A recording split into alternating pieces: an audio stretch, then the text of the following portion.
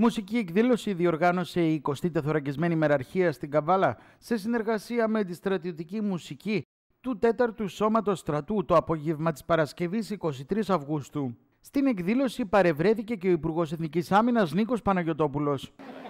Στις 4 Οκτωβρίου του 1919, ο ελληνικός στρατός απελευθέρωσε την Ξάνθη με την 9η Μεραρχία Πεζικού υπό τον στρατηγό Λεωναρδόπουλο Γεώργιο και το 25ο Σύνταγμα Πεζικού υπό τον συνταγματάρχη Δημήτριο Μεσίνη. Επικεφαλής των πρώτων στρατιωτικών τμήματων κατά της είσοδο στην Ξάνθη ήταν ο ξανθιώτης ανθιπολοχαγός μηχανικού Γαβρίλ Λαδάς, μετέπειτα δήμαρχος της πόλης. Στη συνέχεια, στις 14 Μαΐου του 1920, ο ελληνικός στρατός θα απελευθερώσει την Κομωτινή και την Αλεξανδρούπολη και εν γέννη θα ενσωματώσει τη διοικητική Θράκη στον εθνικό κορμό.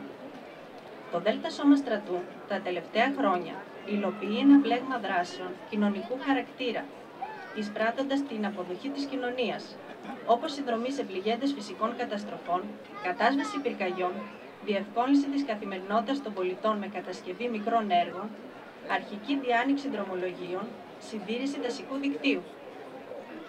Άξια επισήμανσης είναι και η προσφορά του ΔΕΛΤΑ Σώματος Στρατού σε απομακρυσμένα ορεινά χωριά, που διαβιούν Έλληνες μουσουλμάνοι της ορεινής Τράκης, με δράσεις όπως επισκευή σχολικών κτηρίων, διανομή εκπαιδευτικού υλικού σε μειονοτικά σχολεία, παροχή πρωτοβάθμιας υγειονομικής περίθαλψης σε κατοίκους της περιοχής.